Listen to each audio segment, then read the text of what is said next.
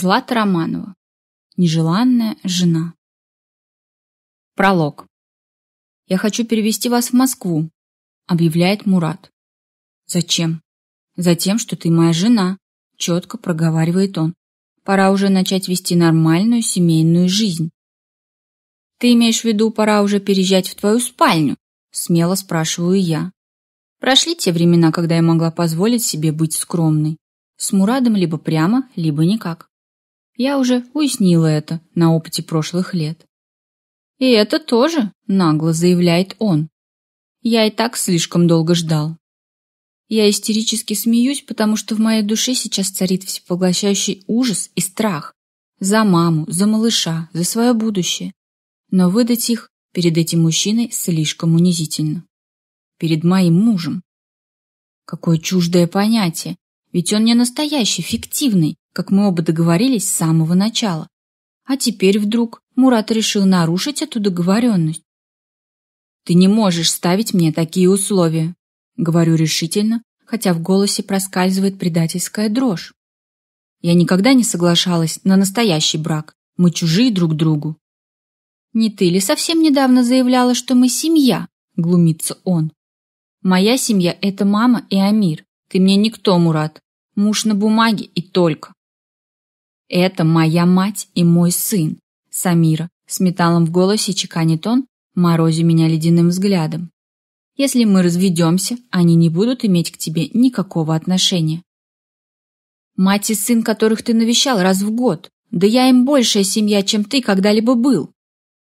«Не утрируй», — отмахивается от меня Мурат. «Суть в том, что ты или принимаешь мои условия, или убираешься из моего дома». Никогда. Я скорее буду побираться, чем стану тебе настоящей женой. Отлично. Гадко усмехается он. На это я и надеялся. Если бы не просьба мамы, я бы тебе и шанса не дал. Или ты думала, что я вдруг воспылал к тебе страстью, принцесса доморощенная? Можешь паковать вещички. Скоро в эту семью войдет новая невестка. Я и так был слишком добр, позволяя тебе жить здесь, учитывая наше прошлое.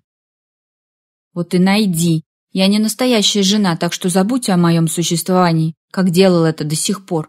Женись и уезжай в Москву с той, кто этого хочет, а мы продолжим жить так, как жили. Он язвительно смеется и меня передергивает от этого звука. Ты действительно думаешь, что я позволю тебе воспитывать своего сына, когда у него может появиться настоящая мать? Он считает меня своей матерью. Пока он слишком мал, это недоразумение можно исправить. Его матерью будет лишь моя жена Самира, а тебя он забудет. Мама не позволит, отчаянно цепляюсь за соломинку. Мама может общаться с тобой, если захочет, но ты больше не будешь с нами жить.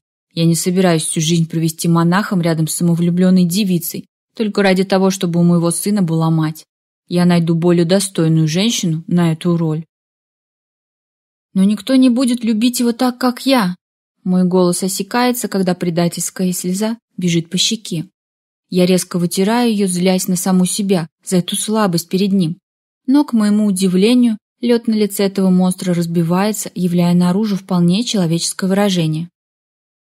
«Поэтому я и предложил тебе сохранить наш брак», — говорит Мурат. «Я готов смириться с твоим характером ради сына. Тебе всего лишь нужно выполнять свои супружеские обязанности, и кроме того, я хочу еще детей Самира. Мой сын заслуживает узнать, каково это – иметь поддержку брата или сестры.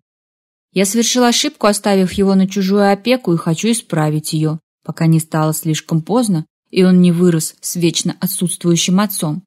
Тебе решать, хочешь ли ты принимать в этом участие.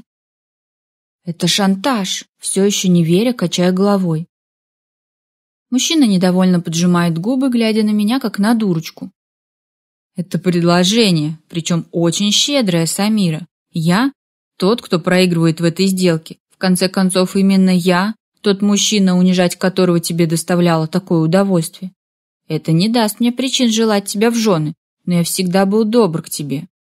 И хотя таким, как ты, никогда этого не понять, а мне еще жить с тобой всю жизнь, зная, что ничего хорошего, кроме привязанности к моей семье, тебе нет. Я все равно готов пойти на этот шаг. Решай теперь, чего ты хочешь от жизни.